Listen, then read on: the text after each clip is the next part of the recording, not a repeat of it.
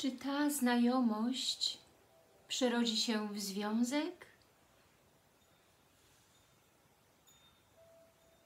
Czyli odpowiemy sobie na to pytanie, jak rozwinie się ta relacja, czy będziecie parą, czy będziecie razem, czy będziecie w związku.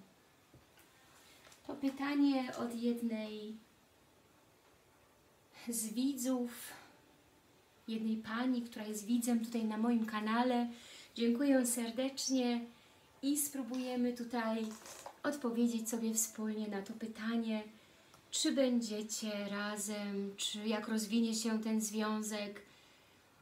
I proszę pamiętać jednakże, że jest to czytanie kolektywne, to nie jest y, pytanie y, lub rozłożenie kart indywidualne, ponieważ są tutaj na kanale różne osoby, naturalnie różne problemy w związkach i różne osobowości, różne energie się tutaj mieszają. Każdy patrzy takie mm, czytanie pod siebie, pod swoją osobistą sytuację, czy w związku, czy w partnerstwie, czy w rodzinie. Dlatego proszę popatrzeć, spojrzeć na te karty z przymrużeniem oka i wziąć tylko z tego czytania tą część, która rzeczywiście rezonuje z Państwa osobistą sytuacją. Cieszę się oczywiście, jeśli takie czytanie rezonuje w całości. Jest to dla mnie wspaniały feedback.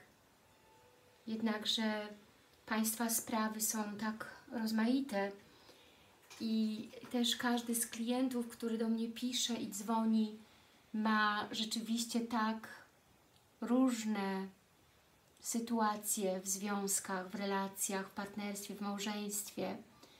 Sprawy są tak nieraz zawikłane lub no rozmaite po prostu, więc nie da się oczywiście jedne, y, wszystkich tych problemów wrzucić do jednego garka, jak to się mówi, no ale cieszę się, że z wieloma, bardzo wieloma tutaj osobami rezonują te czytania jednak. Także yy, dobrze, zacznijmy, i odpowiedzmy tutaj na to pytanie właśnie, czy ta znajomość przerodzi się w związek. Jest to układ ośmiu kart Tarota. Każda z tych kart Tarota odpowiada na poszczególne, konkretne pytanie i konstelacje w związku. Dobrze, więc zaczynajmy, kochani. Zanim jeszcze odkryję tutaj te karty, proszę o subskrypcję, lajki, komentarze, propozycje tematów. Dziękuję serdecznie. Dobrze, jak Pani pytająca, Panie pytające w liczbie mnogiej, tak, do wszystkich Pań, które tutaj patrzą, jak osoba pytająca, też Pan pytający być może, ponieważ i dużo mężczyzn tutaj na mój kanał zagląda. Dziękuję serdecznie, cieszę się bardzo tutaj z obecności mężczyzn i cieszę się, że też mężczyźni wchodzą w głębie swojego serca, myśli, duszy i proponują również odpowiedzi na takie trudne pytania emocjonalne. Też zastanawiają się nad tym, nad związkiem, relacją, jak polepszyć relacje. Szukają odpowiedzi tutaj na moim kanale. Dziękuję serdecznie. Pozdrawiam wszystkich męskich widzów również. I mówię osoba pytająca, czyli mam pod tym pod, uważam pod tym, że jest to kobieta lub mężczyzna. Czyli jak osoba pytająca postrzega partnera, partnerkę. Dziesiątka mieczy. Dziesiątka mieczy mówi o smutku. Jest kartą właśnie smutną. Dziesiątka mieczy mówi wręcz o stanie depresyjnym, czyli jak osoba pytająca, zadająca to pytanie postrzega własnego partnera jak osobę smutną, rozczarowaną, wręcz przygniecioną tymi dziesięcioma mieczami, depresyjną. Widzicie go, jakby coś go przygniotło, jakby nie mógł się podnieść, jakby coś dobiegło końca i jakby on nie widział już perspektyw w Waszym związku. Widzicie go pesymistycznie i no po prostu jako osobę bezsilną, obciążoną tym związkiem, emocjami, uczuciami, obowiązkami w tym związku. Widzicie jego jako osobę pasywną, leżącą pasywnie, jakby w pozycji sparaliżowanej, z której nie może się podnieść. Czyli widzicie tą osobę jako osobę bardzo smutną, która odeszła, która się odwróciła, zostawiła ten związek i odeszła.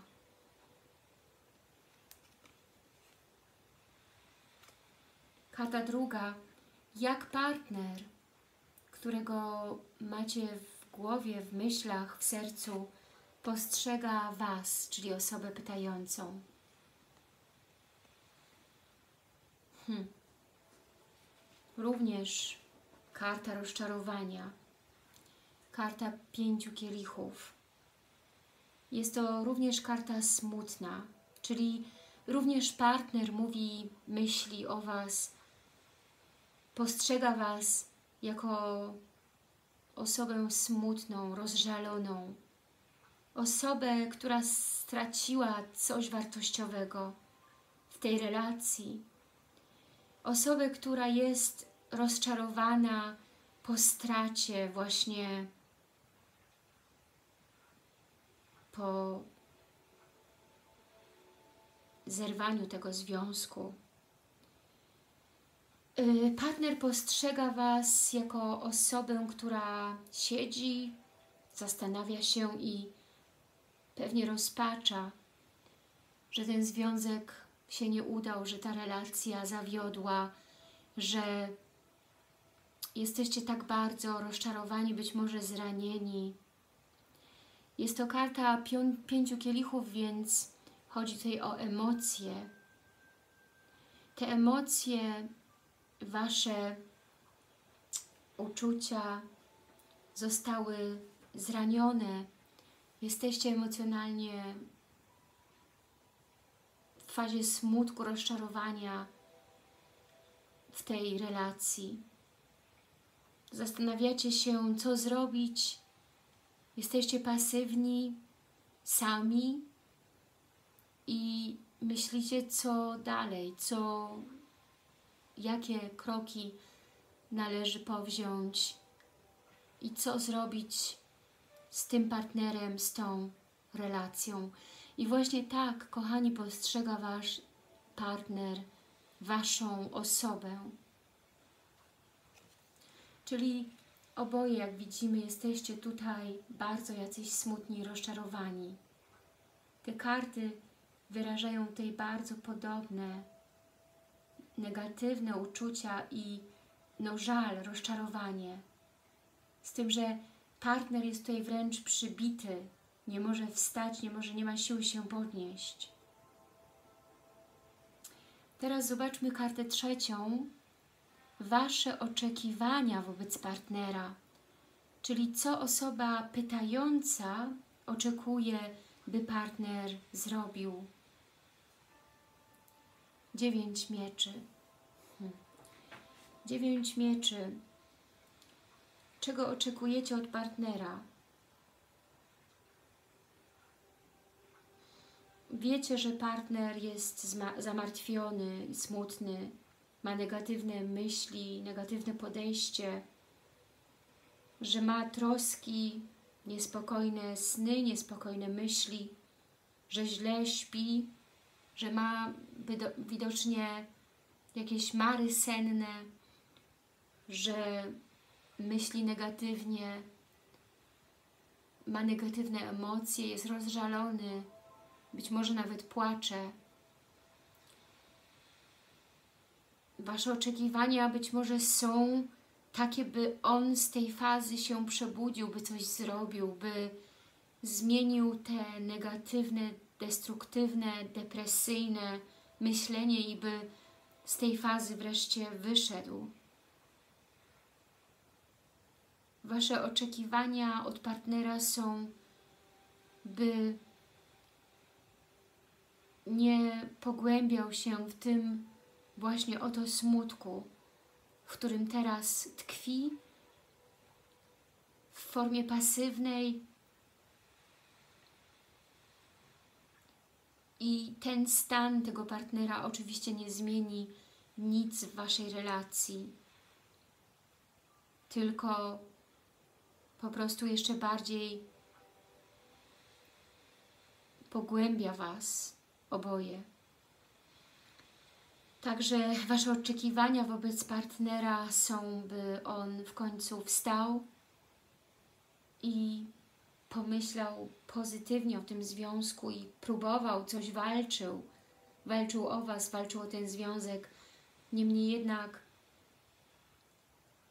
karta ta pokazuje, że partner Wasz jest no, w stanie rozczarowania i kompletnego załamania.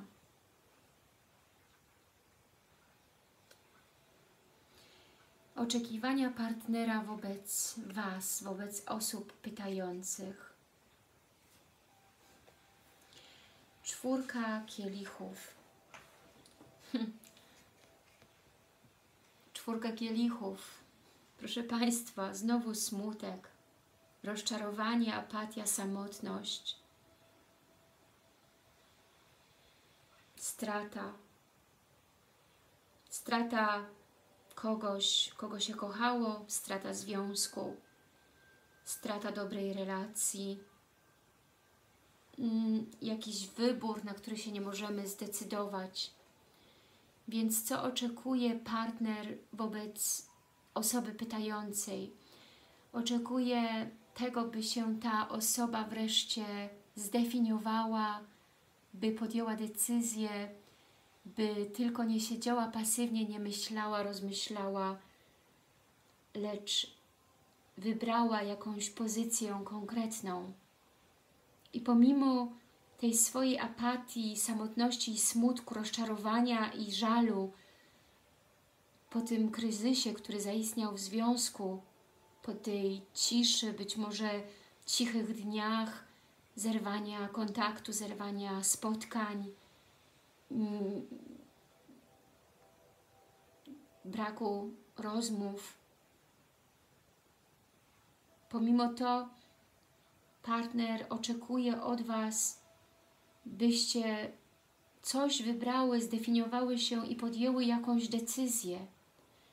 Wstały i też zaczęły aktywnie być może walczyć o tą relację i powiedzieć, wysłowić się to, co chcecie i potrzebujecie, ponieważ w tym smutku i samotności nie jesteście w stanie dokonać żadnego wyboru. Partner oczekuje od Was jakiejś decyzji. Oczywiście w stosunku do Niego, w stosunku do Waszego partnerstwa. Karta numer 5. Co Was łączy? Łączy Was to, że możecie, umiecie, potraficie i jesteście gotowi do pracy nad tym związkiem by efekty Waszej pracy przyniosły pozytywne plony i zmiany w tym związku. Karta siódemki siódemki pentakli, przepraszam, siódemki monet, mówi o tym, że łączy Was to, że oczekujecie jakichś zmian w związku. Czekacie na efekty po jakiejś konkretnej zmianie w tym związku, transformacji tego związku. Yy, zasialiście plony, czekacie, przeczekujecie ten czas kryzysu, problemów, potrzebujecie sami izolacji, samotności po to, by przemyśleć jeszcze raz te sprawy. Oczekujecie na jakieś zmiany, na jakąś dużą transformację, na pozytywne efekty Waszej obopólnej pracy nad tym związkiem.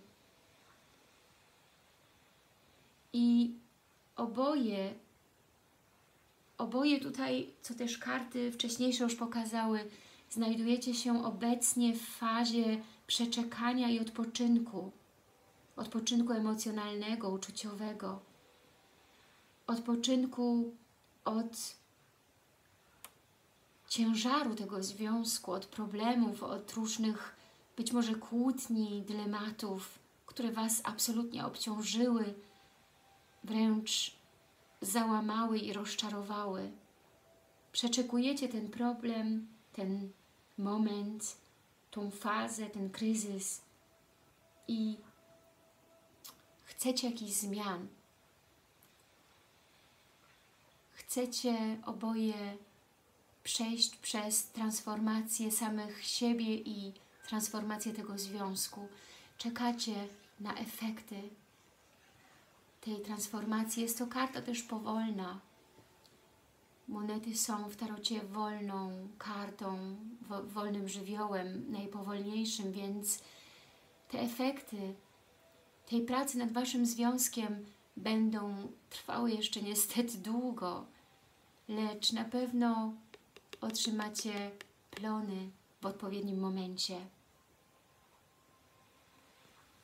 Zbierzecie plony swojej własnej pracy nad tym związkiem.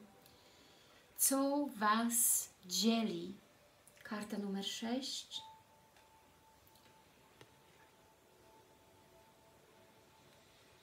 Królowa Kielichów.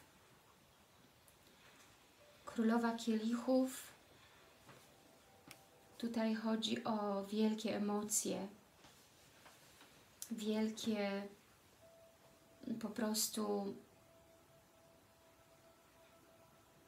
wielką wrażliwość. Dzieli Was to lub być może rozróżniło Was to, podzieliło Was to, rozłączyło Was to, że jesteście bardzo wrażliwi, jesteście bardzo emocjonalni, nie możecie sobie po, poradzić z Waszymi emocjami w tym związku i te emocje wręcz obciążają Was i przygniatają. I jesteście nadmiernie emocjonalni w tym związku. Być może macie jakieś emocjonalne kryzysy. Królowa kielichów patrzy sercem, emocje są dla niej bardzo ważne, jest współczująca, wie jak radzić sobie ze zmianami emocjonalnymi, jest empatyczna i wrażliwa. Niemniej jednak karta mówi o tym, co Was dzieli, czyli dzieli Was być może przeciążenie emocjonalne lub dzieli Was w najgorszym znaczeniu tej karty absolutny brak emocji w stosunku do siebie w tej relacji, co byłoby oczywiście tutaj bardzo przykre, ale jest wiele relacji, które opierają się tylko na korzyściach finansowych, na różnych relacjach seksualnych, być może jest wiele też relacji, które opierają się na statusie społecznym, na rozwoju własnej kariery, lecz nie są w, tej, w tych relacjach prawdziwe emocje, które naprawdę wyzwalają tą miłość szczerą, bezwarunkową i prawdziwą. Być może dzieli Was właśnie to, że jest deficyt takich prawdziwych emocji miłosnych w tym związku. Jesteście właśnie tym rozczarowani. Jesteście smutni, że te emocje być może wygasły, być może emocjonalnie się tylko ranicie i nie potraficie na tym poziomie emocjonalnym się dobrze porozumieć. Ranicie się emocjonalnie i pogłębiacie się jeszcze bardziej w smutek, w rozpacz. Czyli emocjonalnie nie umiecie się tutaj porozumieć lub jesteście emocjonalnie oziębli, rozpoznaliście, że macie zupełnie inne jakieś interesy w tym związku. Czyli na pewno dla grupy z Państwa, którzy tutaj szukają rozwiązania na podobne pytanie, jest pierwsza wersja mojej interpretacji tej karty, że po prostu jesteście wrażliwi, nadwrażliwi, emocjonalni, ranicie się, nie umiecie sobie poradzić z emocjami, jesteście być może emocjonalnie wybuchowi, nie umiecie się po prostu tutaj emocjonalnie jakoś uzupełniać. Lecz dla drugiej grupy będzie to na pewno ta druga kwestia, która mi tutaj bardzo silnie promieniuje z tej karty, że być może wręcz te emocje miłosne wygasły w Waszej relacji, co spowodowało u Was absolutny smutek, rozpacz i rozczarowanie. Tutaj dwie interpretacje tej karty, co Was dzieli, dlaczego jesteście aż tak bardzo tutaj smutni, rozczarowani, są prawdopodobne. Dlatego proszę sobie wybrać tą opcję, która rzeczywiście do Państwa sytuacji obecnej pasuje.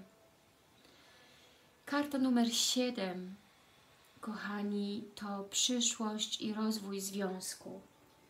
Czyli wracamy do naszego pytania, czy ta znajomość przerodzi się w związek? Jak rozwinie się ta relacja? Czy będziemy parą? Czy będziemy razem w normalnej relacji? Czyli karta numer 7, przyszłość, rozwój związku, ósemka mieczy.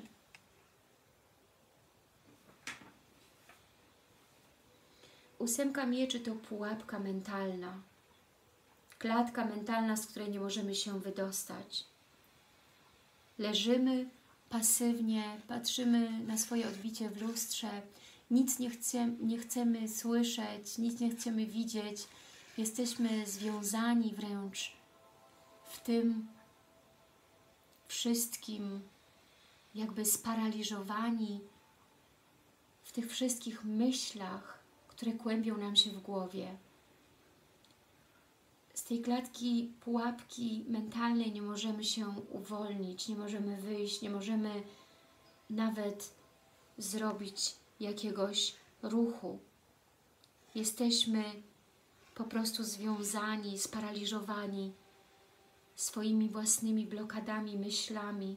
Wierzymy w coś, że musimy coś zrobić, że musimy być może być w tej relacji, że musimy być z tym partnerem, że musimy ratować tę relację, że musimy być razem szczęśliwi, że musimy coś za wszelką cenę.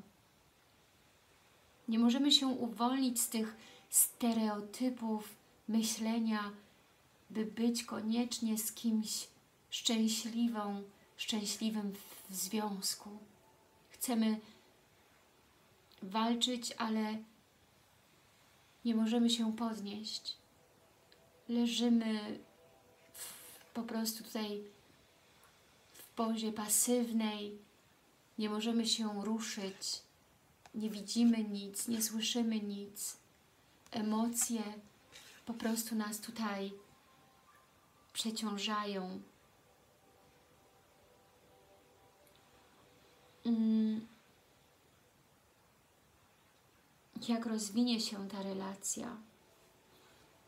Czyli czy ta znajomość przerodzi się w związek?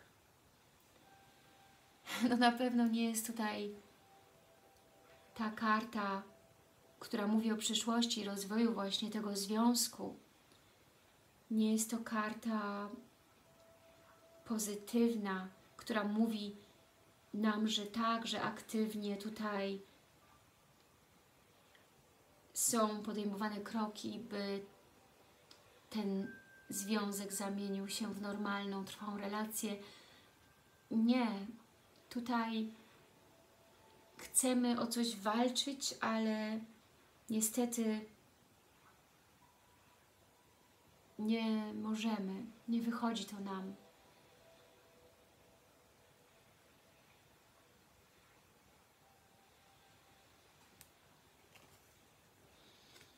Karta numer 8. Odpowiedź na pytanie, czy ta znajomość przerodzi się w związek.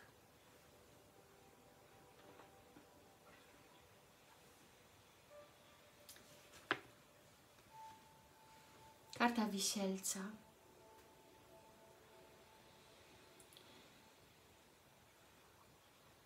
Karta wisielca oznacza tutaj uwięzienie, niezadowolenie i trwanie w sytuacjach niejasnych i mętnych. W takich związkach narasta uczucie przygnębienia i wzajemnej obcości. Więc warto się zastanowić, czy ta chwilowa ucieczka w samotność Was obojgu, także obojgu partnerów, tą, ta ucieczka w samotność, w rozmyślanie, smutek, rozpacz. Czy ta ucieczka w samotność nie byłaby dla Was bardziej korzystna? Czy nie byłoby dla Was bardziej korzystne bycie singlem, bycie wolnym, bycie niezależnym od tego partnera? Spróbujcie spojrzeć na wszystko z innej strony i innej perspektywy, z innego punktu widzenia, aby te sprawy, o które teraz pytacie i które wydają Wam się tak ważne, aby ten partner, o którego teraz pytacie i wydaje Wam się jedyny, stał się dla Was mniej ważny, aby ta relacja być może stała się dla Was mniej ważna, ponieważ ta karta mówi o długim lub ciągłym okresie czekania, o zawieszeniu w sprawach relacji, o które pytacie, o braku motywacji do działania. Ta karta może również wskazywać na osobę, tą, którą pytacie, która jest bierna i nie podejmuje żadnych działań w kierunku tej relacji, w kierunku rozwoju, pozytywnej przemiany tej relacji. Ta osoba jest bierna, czeka lub wisi głową do góry i po prostu przyjmuje taką pozycję pasywną, sama tylko czeka, jak potoczą się dalej te sprawy.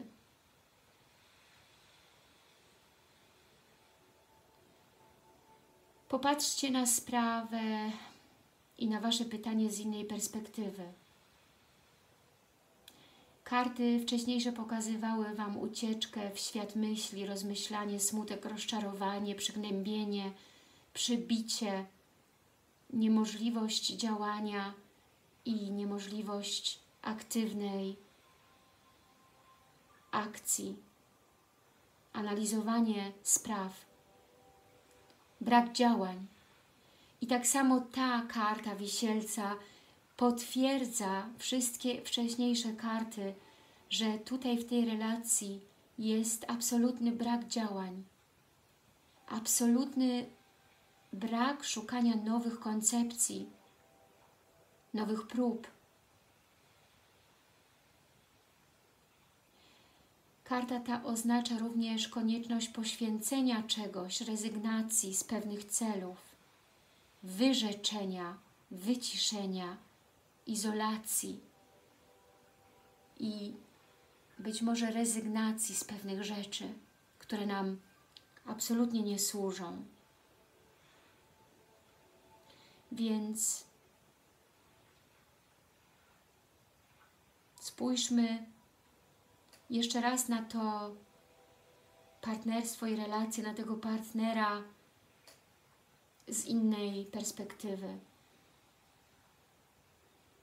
Znajdujecie się w okresie blokad w rozwoju tej miłości, w wielkim kryzysie, braku porozumienia, w rezygnacji, apatii, w konieczności aktywnego wprowadzenia zmian, jednakże oboje jesteście absolutnie pasywni, absolutnie niegotowi do wprowadzenia tych zmian. Więc nadchodzi w tej chwili konieczność przewartościowania i rezygnacji, pogodzenia się z tą myślą, że ta znajomość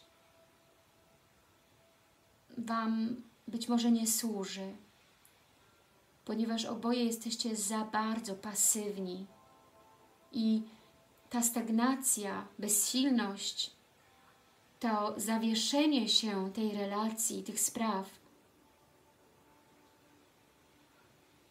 spowodowała utknięcie Waszego związku w błędnym kole.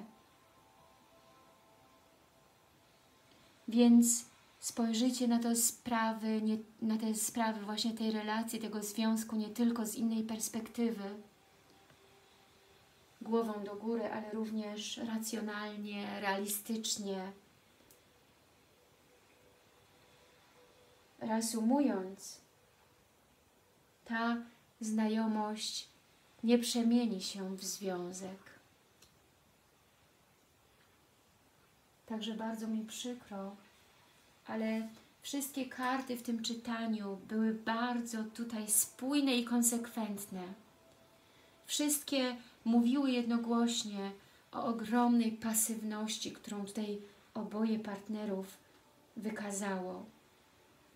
Do tego jeszcze, kochani, szóstka mieczy w przełożeniu talii tarota.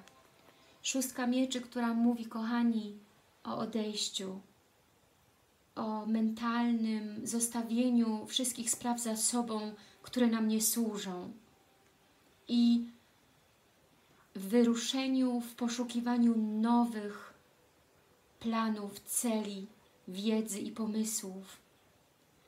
Odejście emocjonalne, intelektualne, mentalne w poszukiwaniu innego partnera, innego związku, innej relacji, która nam będzie służyła.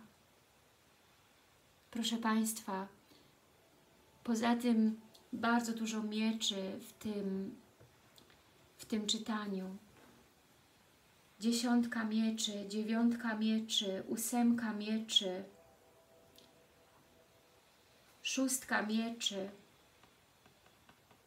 i wszystkie karty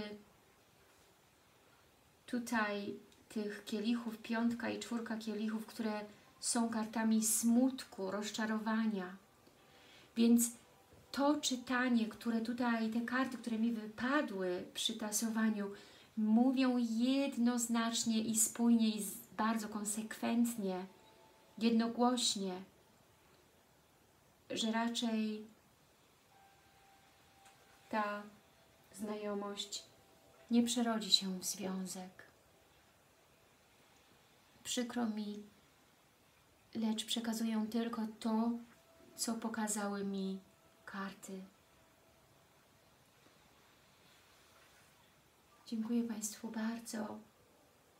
Pomimo to życzę Państwu wszystkiego najlepszego i proszę podjąć decyzję taką, która jest racjonalna, racjonalistyczna i która będzie dla Państwa dobra. Proszę nie pogłębiać się w smutku i rozpaczy i depresji. Proszę poszukiwać nowe pomysły i tego Państwu życzę. Do usłyszenia już niedługo.